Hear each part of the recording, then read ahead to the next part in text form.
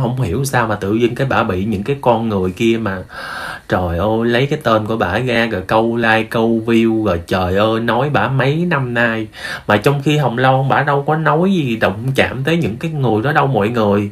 Mà hả, làm cái gì á, tụi nó cũng sôi từng chút từng chút hết trơn nói chung là cả gia đình luôn á, từ anh hải ha, hồng loan ha, rồi hả, bùm bum, mỹ mỹ ta nói hả, cứ có bất kỳ một cái hoạt động gì là thằng thám tử cao, con thủy lê, con hoa hậu bảy màu, rồi con kim ngân 88 huấn bình dương, rồi nói chung là nguyên một bên đó đó. Con trang khách sạn rồi đó, lê tính rồi này nọ đó cho là trời xăm soi của người ta. Mà chứ cảnh nói thiệt luôn á là không hiểu sao nhìn nhìn hồng ló, mọi người mình có cái cảm giác mình muốn bảo vệ bả thấy thấy thấy tội nghiệp bả quá. Bả hiền á bả đâu có đụng chạm gì tới ai đâu mọi người, mà sao những cái con người đó, sao mà cứ cối ngày cứ canh me từng chút từng chút từng chút vậy? Còn tụi nó tụi nó vô rồi tụi nó nói cái vụ tài sản nó làm như cái tài sản nó là của của của giống như kiểu của ông bà, nó để lại cho tụi nó đó mọi người. Rồi xong hồng loan lấy của nó hay gì đó mà nó tức còn hơn là con ve với mẹ con ve nữa tôi nói thiệt chứ con dê với mẹ con dê đó bà chỉ có đi kiện đi thưa thôi rồi bà nín luôn. Còn còn, còn con thủy lê nè thằng thám tử cao con trang khách sạn rồi nè con hoa hậu bảy màu rồi nè nó lên như thể là tài sản đó của nó luôn đó của cha mà nó để lại hay là má nó để lại. Rồi xong mà bây giờ nó bị hồng loan lấy ra rồi xong rồi nó tức nó lên đó. y như vậy luôn. Chứ hồng loan đâu có làm cái gì đâu. Không có làm cái gì chứ thậm chí có những người cho tới thời điểm hiện tại hồng loan không bao giờ gọi tên luôn. Không bao giờ đáp trả luôn trời ơi, là trời, tôi nói thiệt chứ hồng loan hiền dữ lắm đó, mọi người hiền khô luôn á, hiền. Chứ nếu như mà chí cảnh thử coi, chí cảnh thử coi thì mọi người cũng biết rồi đó. Trời ơi, là trời, là tôi lên là tôi tôi tôi đáp trả lại từng từng từng từng người từng người hết á mà hồng loan là coi như là nhịn như vậy đó mà còn không vừa lòng tụi nó nữa. Mà hễ mà hồng loan mà lên tiếng một cái bắt đầu khán giả vô thôi đi con, thôi đi thôi đi, lo tập trung buôn bán đi, thôi thôi thôi đi. Trời ơi là trời, người ta nói hả, quá trời quá đất. Thì lâu lâu cũng cũng cho người ta bức xúc thì người ta cũng lên tiếng một lần. Thử mọi người đi bị năm này năm kia, mọi người hiểu không? Bị nó ghéo gọi từ ngày này cho tới ngày kia, từ ngày này qua ngày nọ, ngày này qua ngày nọ chứ không phải là một ngày nữa mà thôi. Có nhiều cô nó thấy mắc mệt ghê luôn có nhiều bà qua hậu thân thiện. Do thôi thôi đi con ơi. Cái mỗi lần mà hồng loan lên tiếng một cái gì cái à, trời ơi à, thất vọng với hồng loan. À, tại vì hồng loan lên tiếng. À, thất vọng quá.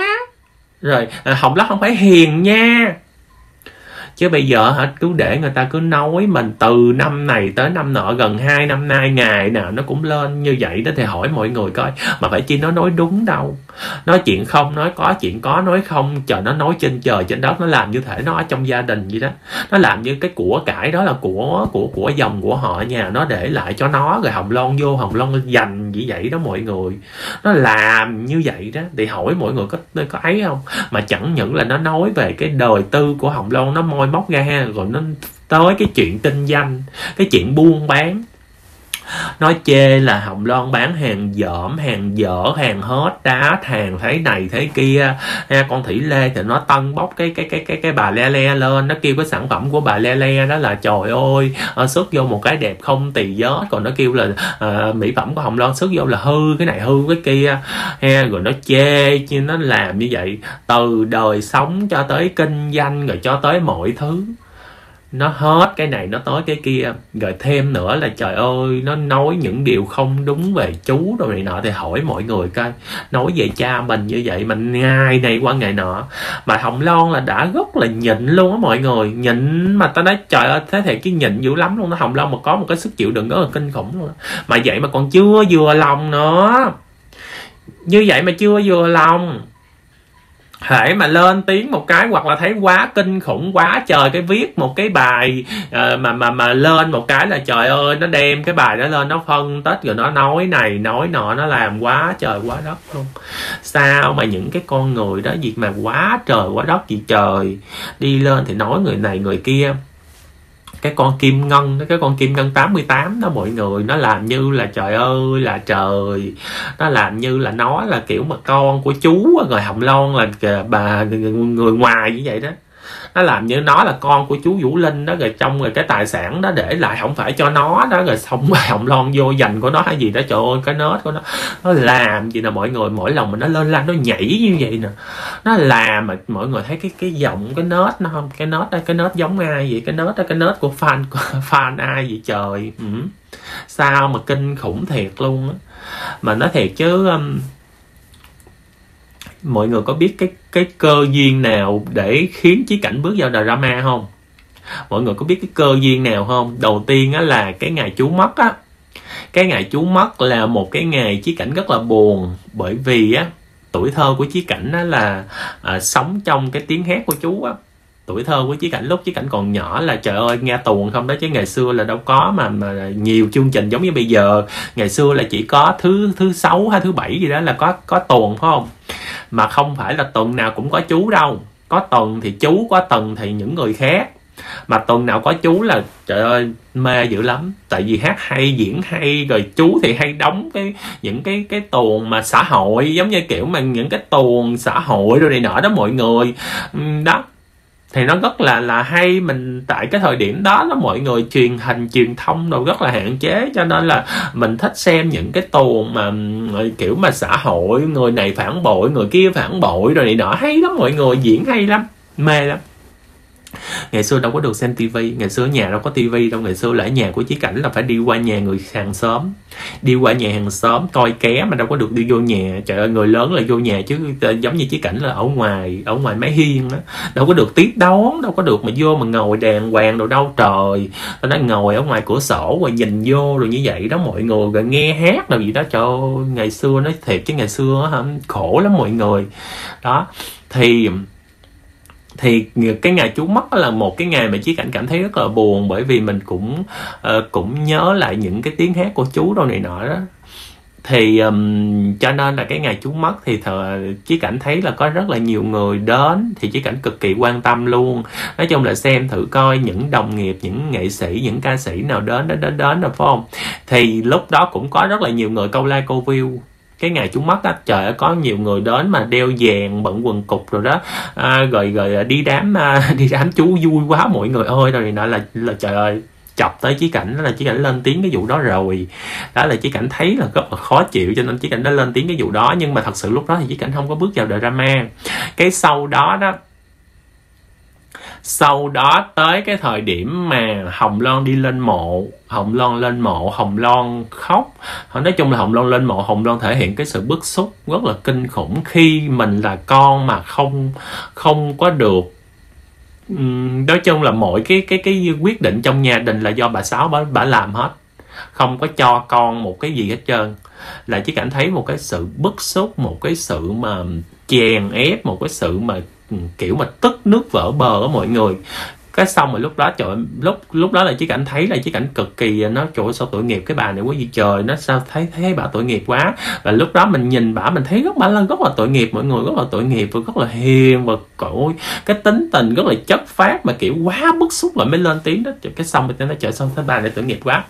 Cái sau đó chỉ cảnh mới à, lên một cái clip mấy mấy mấy, mấy, mấy, mấy ủng hộ bà ủng hộ hồng loan nói chung là chỉ cảnh lên một cái clip chỉ cảnh nói trời ơi sao thấy bà là tội nghiệp với vậy? Thì chỉ cảnh cũng có lên một clip và cái clip đó thì được rất là nhiều người yêu thích luôn. Nhưng mà kiểu chỉ cảnh chỉ lên một clip thôi tại thấy bà như vậy đó mọi người cái mình lên cái mình mình mình mình mình nói hai mẹ con bà kia. Cái xong rồi chỉ cảnh ngừng. Chỉ cảnh ngừng thì một khoảng thời gian sau thì chiếc cảnh bất ngờ quay trở lại với cái um, cái video là bà soạn giả dân tiên tung cái đoạn ghi âm. Đó thì sau đó thì chiếc cảnh lên tiếng dạy dỗ bà soạn giả dân tiên được nhiều người ủng hộ lắm luôn á mọi người. Cái lúc đó là chỉ cảnh là à, là chưa có làm kênh youtube nữa. Thật ra là chỉ có làm kênh youtube chơi chơi thôi mới tạo kênh thôi mà một cái video của chỉ cảnh là có cả trăm ngàn lượt lượt lượt xem luôn.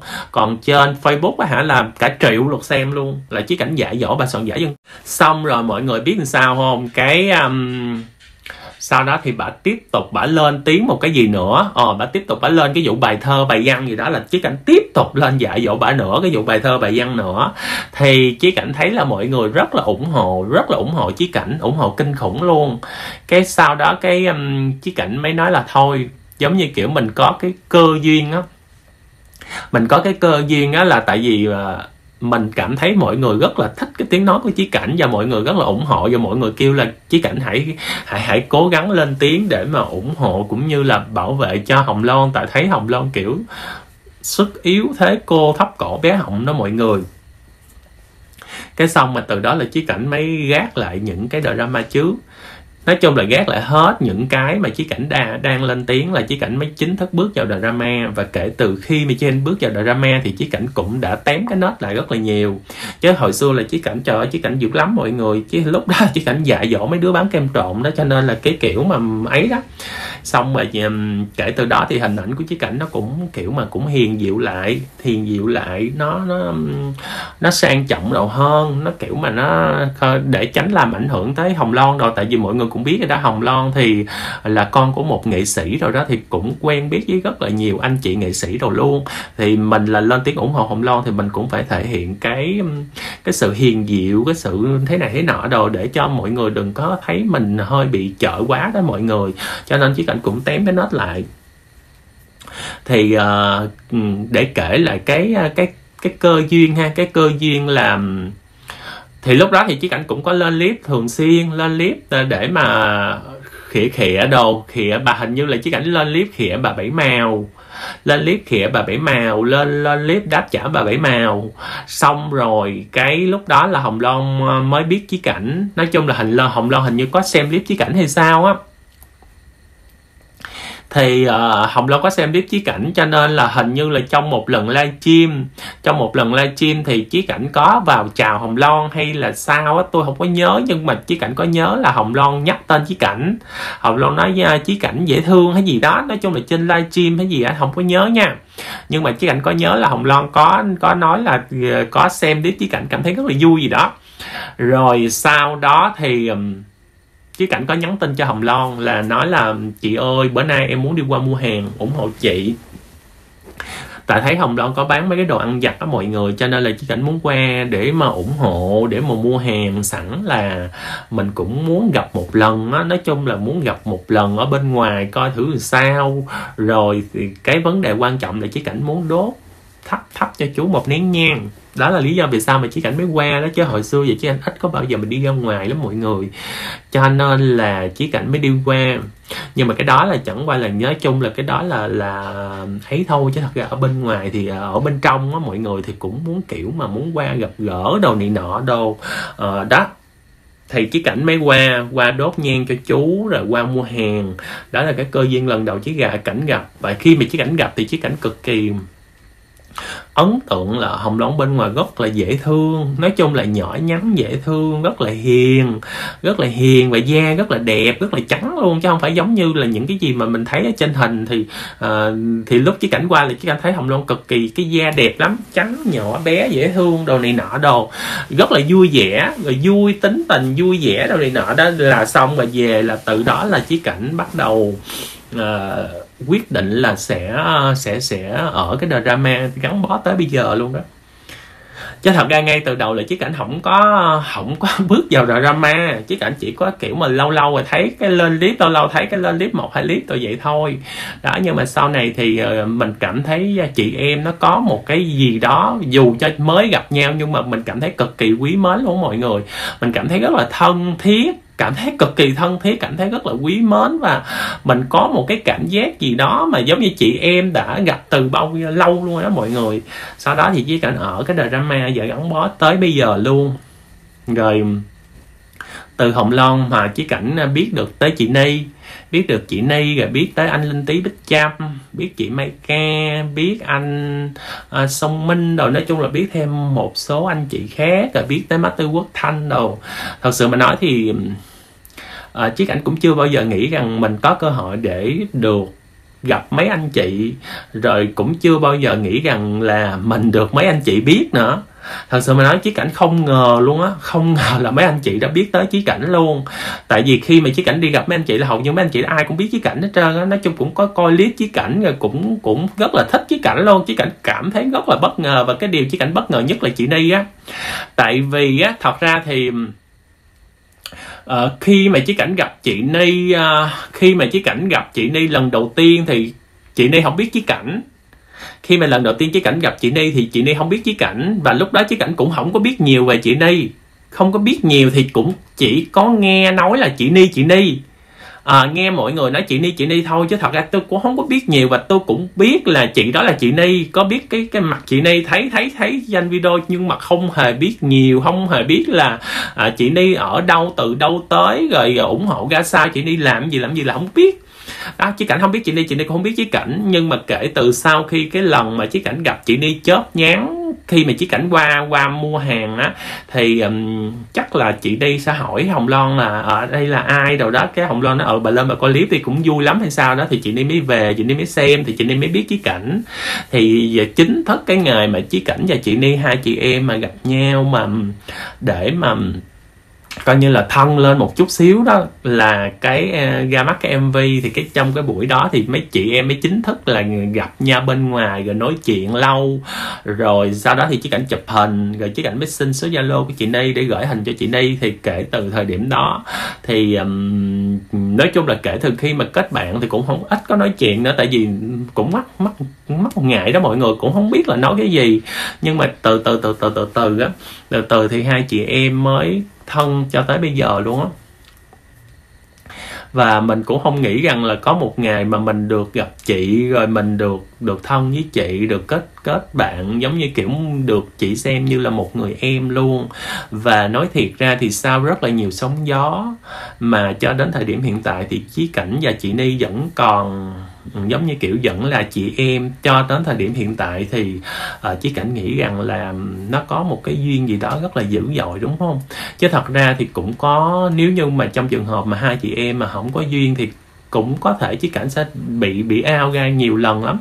Tại vì mọi người cũng biết rồi đó, cái đợt mà giới thám tử cao rồi này nọ đó đó mọi người, thì nó cũng muốn là chị đi phải phải phải phải cắt đứt với chí cảnh, rồi không có được liên lạc với chí cảnh đâu này nọ đâu đó mọi người. Nhưng mà chị ni làm quyết định là lựa chọn chí cảnh nói chung là chị đi ờ, chị đi quyết định là sẽ tin tưởng Chí Cảnh với Võ Việt Bân tin tưởng hai đứa em và không có đẩy Chí Cảnh với Võ Việt Bân ra không có lựa chọn cái bộ ba tam sơn đó.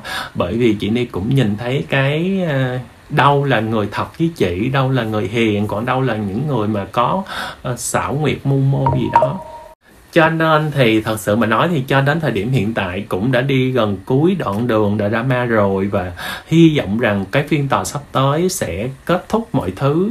Nói chung sẽ sẽ sẽ xử cái phần chiến thắng cho hồng loan. Rồi hồng loan từ đó có thể yên tâm mình là người um, kiểu mà thừa hưởng tất cả tài sản của chú hợp pháp. Đó rồi um, chứng minh cái việc mà mình là con hợp pháp rồi tài sản sẽ thuộc về mình xong xuôi hết luôn. Cái đó cho nó yên tâm. Cái đó là trước. Nhưng mà chỉ cảnh hiểu rằng là cái tên của hồng đoan cũng không bao giờ bị tụi nó buông tha đâu, dù cho kết quả có chiến thắng. Ví dụ như cái phiên tòa có chiến thắng đi chăng nữa thì tụi nó về, tụi nó cũng sẽ thế này thế kia. Cho nên cái drama này cũng có thể sẽ kéo dài thêm cả năm nữa đó. Cũng cả năm nữa chứ không đơn giản đâu. Ví dụ như xong rồi thì cũng có chuyện này, cũng có chuyện kia nữa, đúng không mọi người? Chứ không thể nào mà yên bình được đâu. Với cái tình hình này là không yên bình được đâu. Cho nên là thêm một năm nữa thì chứ cảnh có thêm nhiều cơ hội để gặp mọi người, cũng có thêm chủ đề để nói, đúng không mọi người? Cho nên à, mình cũng cảm thấy à, thật sự mà nói thì ngoài cái cái phạm trù công việc của chí cảnh là một youtube thì uh, uh, chí cảnh lên livestream rồi chí cảnh thế này thế kia đó mọi người. Mặc dù là những gì chí cảnh lên tiếng chí cảnh nói thì nói chung mỗi clip chí cảnh ra thì chí cảnh cũng đều có tiền ở trong đó. Và mình làm thì hoàn toàn cũng không phải là mình um, giống như kiểu không phải là mình mình ra sức để mình bảo vệ hay là mình uh, hết thế này thế kia. Nói chung là mình cũng có được tiền đó mọi người chứ cảnh cũng có được tiền. Mỗi lần chứ cảnh có lý thì cảnh có được tiền. Nhưng mà ngoài cái tiền đó thì chị em á chị em dành cho nhau rất là nhiều tình cảm luôn á mọi người rất là nhiều tình cảm. Và mặc dù thì cũng không có ờ, họ hàng không có không có bà con không có họ hàng nhưng mà uh, chí cảnh xem chị ni với lại chị hồng loan á, giống như những người chị của mình luôn á không biết là mấy chị có xem chiếc cảnh như là uh, người thân hay là em của mình hay không thì mình không biết. Nhưng mà đối với riêng bản thân chiếc cảnh thì xem hai chị như là những người chị của mình luôn mọi người. Mình có một cái cảm giác nó nó rất là thương, nó rất là thân. Và mỗi lần mà mình thấy mấy chị mà bị một cái gì đó thì mình cũng cảm thấy cực kỳ buồn luôn á. Cực kỳ buồn và cũng cảm thấy mình muốn để mà bảo vệ mấy chị á, mọi người. Cái này là những cái mà thật lòng của chí cảnh luôn á, chứ không phải là chí cảnh nịnh gì đâu. Tại vì thật sự mình nói thì nịnh thì, hay không thì mọi người nhìn, mọi người cũng biết rồi đó. Cả cả mấy năm rồi mình nịnh gì nữa. Bây giờ là cũng còn lại tình cảm thôi chứ thật ra nếu như mình nịnh thì chỉ cũng nịnh một hai ngày thôi chứ không có ai mà mà nịnh về mấy năm trời đúng không? Cho nên chắc là mọi người cũng hiểu chí cảnh ha. À, cuối cùng thì um, mọi người ơi hiện tại thì hồng loan đã bị người ta hại đó mọi người người ta hại người ta liên tục người ta à, cứ cho bay của hồng loan á, rồi trang cá nhân cứ bị bay hoài luôn không có cho buôn bán gì được hết. Cho nên là um, không biết cái người đứng sau là ai. Nhưng mà mọi người ơi, nếu như mà ai thương Hồng Loan thì mọi người hãy vào đăng ký là Hồng Loan 87 đó, để coi chí cảnh xem thử cái cái Facebook nha. Cái Facebook là, cái Facebook của Hồng Loan là, đợi chí cảnh xíu đang theo dõi nè mỹ phẩm hồng lon mỹ phẩm lon lon hả? Ờ, mỹ phẩm lon lon 1987 nha. Mọi người ơi mọi người vô theo dõi cái fanpage là mỹ phẩm lon lon 1987 mọi người gõ vô đúng như vậy nha. Mỹ phẩm lon lon 1987 ha mọi người.